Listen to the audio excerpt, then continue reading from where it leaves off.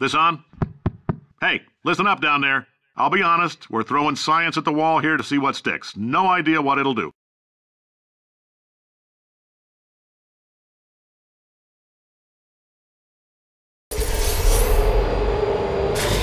It's come to my attention that over half of our test subjects have only recently awoken from extended relaxation and were unaware that we're testing in space. So, there it is. No conspiracy, no twist.